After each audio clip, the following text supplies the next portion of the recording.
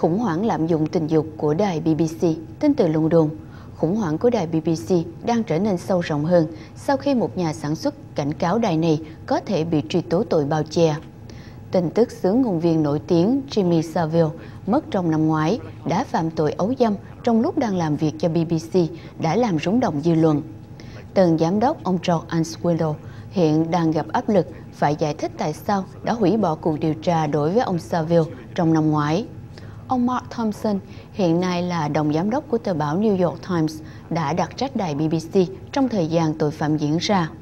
Trả lời báo chí ngày hôm nay, ông Answillow cố tránh trả lời những câu hỏi liên quan đến chương trình Newsnight. Ký giả Liz McCann của chương trình Newsnight nói rằng cô ta cảm thấy đài BBC đã bị hướng dẫn sai lầm. Nhà sản xuất Mayon Jones có liên hệ trong cuộc điều tra nói rằng ông ta đã cảnh cáo người chủ bút chương trình News này là đài BBC có thể gặp nguy hiểm, bị tố cáo che giấu nếu không tường thuật câu chuyện.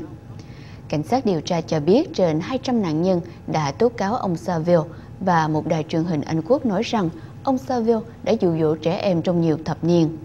Đài ITV đã phỏng vấn nhiều người phụ nữ, có người cho biết đã bị ông Saville lạm dụng lúc mới 12 tuổi.